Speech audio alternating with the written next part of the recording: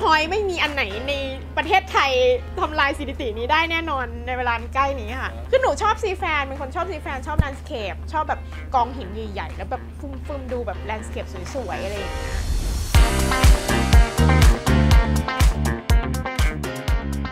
pinnacle ที่ 5 ของกิจกรรม7พิน n เ c l e วันนี้ แม็กเองจะนำเสนอ North Point Pinnacle ครับ กองหินใต้น้ำแห่งนี้ตั้งอยู่ทางทิศเหนือของเกาะ9หมู่เกาะซิมิลัน ซึ่งถ้าเป็นจุดดำน้ำ North Point เลยเนี่ย ก็จะติดอยู่กับเกาะ9แต่จุดดำน้ำ pinnacle ก็จะห่างออกมาอีกหน่อย ยอดกองเนี่ยอยู่ที่ 18 เมตรเลยครับ ซึ่งในทริป7พิน n เ c l e นี้เราเองเนี่ยก็จะเน้นดำ nitrox เท่านั้นครับ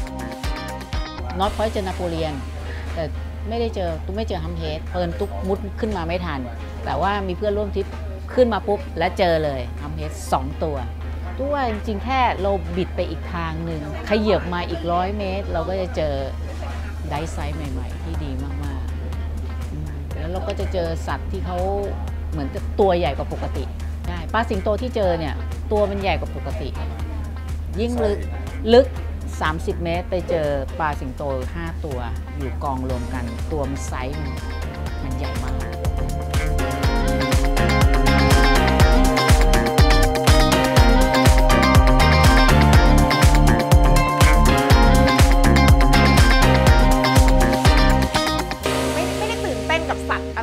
ยเท่าไหร่เพราะว่าสัตว์ที่ไทยมันเป็นความบังเอิญอะคือเราก็ไม่ได้คิดว่าเรามีโชคอะไรขนาดนั้น ก็เลยไม่ไม่ได้ expect ไม่อยากคาดหวัง landscape มันแบบไปแล้วมันเจอชัวร์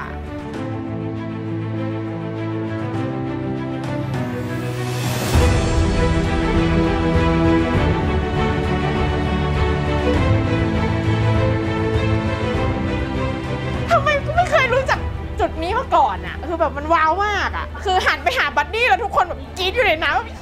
ียสวย คืออย่างนั้นเลยอะแบบสวยมากอะชอบมาก มันเด่นที่ปะการังอะหนุ่มไม่ได้ดูอะไรอย่างอื่นเลย คือแค่ sea fan ก็แบบ ก็พอแล้วอะ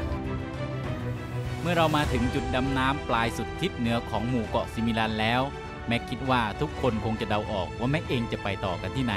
ฝากติดตามชมกันด้วยนะครับ อย่าลืมกดไลค์กดแชร์ กด Subscribe เป็นกำลังใจให้แม็กด้วยนะครับ แม็กรับรองได้เลยว่า